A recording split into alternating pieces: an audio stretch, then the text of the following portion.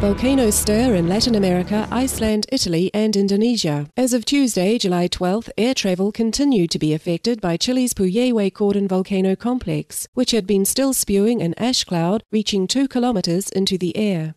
Both domestic and international flights were delayed or cancelled in Argentina, causing havoc for thousands of football supporters amid the Copa America competition being held in several Argentine cities. In nearby Montevideo, Uruguay's Carrasco International Airport, ash clouds prompted the cancellation of over 60 departures and arrivals. In Iceland, scientists were monitoring the Katla volcano on Saturday after a massive flood of meltwater was recorded from the Mýrdalsjökull glacier. Concerns were raised that the floodwaters could have been triggered by a small eruption of the volcano situated below the glacier's ice cap. On Saturday afternoon, Italy's Mount Etna on the island of Sicily erupted as well, spewing lava on its southeastern slopes and releasing a dense ash plume that rose to over 2 kilometers into the air. As winds carried ash to Catania, officials closed the Catania Vincenzo Bellini airport overnight. In Indonesia's Sulawesi, officials raised the alert status for the Mount Lokon volcano to its highest level of red on Sunday night, following increased activity over the weekend that sent ash 500 meters into the air. On Monday, officials began evacuating hundreds of residents in the northern island of Sulawesi from within a 3.5 kilometer radius of the volcano, saying that up to 20,000 could be displaced should the wind continue blowing to the east of Mount Lokon. There have fortunately been no reports of casualties from any of these events. Our appreciation officials and scientists working to monitor these situations and ensure the safety of the public. May all corners of the world be protected from such potential disasters as humanity's kinder lifestyles help secure the stability of our Earth. Supreme Master Ching Hai wants to convey this message of gratitude to all governments, organizations, and relief workers from every corner of the world.